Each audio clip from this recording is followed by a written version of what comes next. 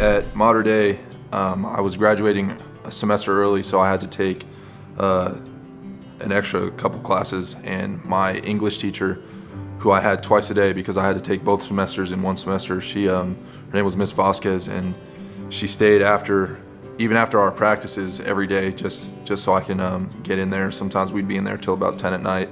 Um, she helped me with all subjects, uh, and so she she really pushed and, and made that, that a possibility for me, and I, I can't thank her enough for it.